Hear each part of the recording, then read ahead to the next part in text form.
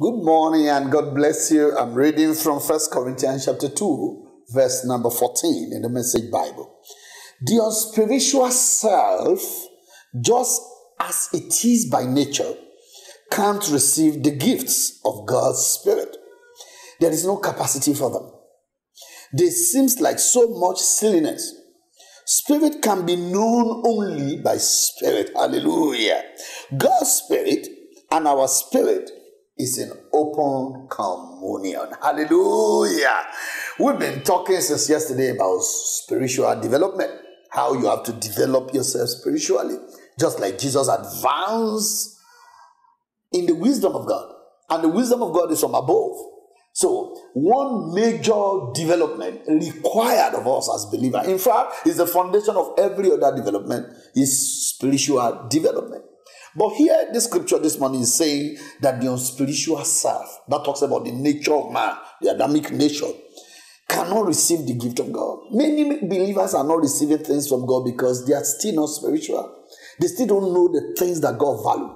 They are not seeing the way God is seeing. They are not imagining things the way God is imagining things. The concept of major concept of things in the scripture are still not accessible to them. Yet they say they are born again, but they are not spiritually minded. Because the Bible said to be spiritually minded, you know, is life, and then to be carnally minded is death.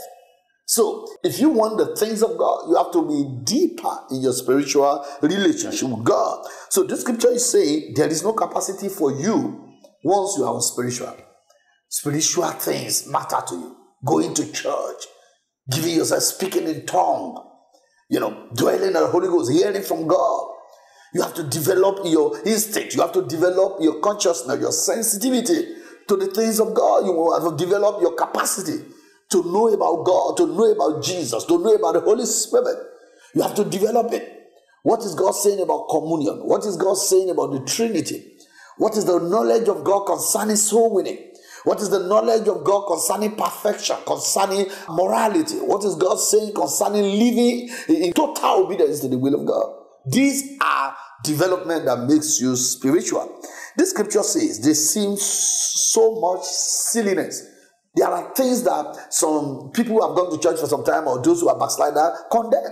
I tell you about, about tithe and offering. How many people on social media keep attacking it because it looks silly. You know, the things of God look silly to those who are not spiritually developed. He said the spirit only knows the things that are the spirit. So the more spiritual you are, the more you are open up to the spiritual things. And most of the blessing you want God to pour upon you are spiritual. You can't use the carnal mind to receive the spiritual things. So you have to get yourself into the place of spiritually becoming sensitive, understanding the concept. Why is God saying this? Why is God not saying it? Why will God want me to do this? Those reasons strengthens and deepen your knowledge in order to seek for spiritual things. God's spirit and our spirit has to have a union. You know, what you know intellectually has to be subject to what you know spiritually. What looks right in the in the culture you know, somebody was saying, ah, can't we drink alcohol? Why should a Christian not drink alcohol? Or we are talking and then somebody is saying, um, why can't I marry an unbeliever? These are intellectual things that are not spiritual things. So when you come to Christ, you begin to develop your spiritual capacity.